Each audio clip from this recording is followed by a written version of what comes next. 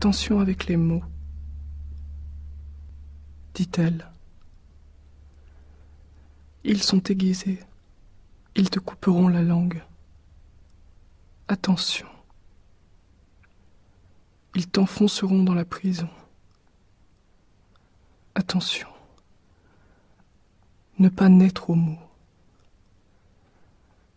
Allonge-toi dans les sables noirs, et que la mer t'enterre, et que les corbeaux se suicident dans tes yeux fermés. Fais attention à toi. Ne tente pas les anges des voyelles. N'attire pas des phrases, des poèmes, des vers. Tu n'as rien à dire, rien à défendre. Rêve, rêve que tu n'es pas ici, que tu es déjà parti, tout est terminé.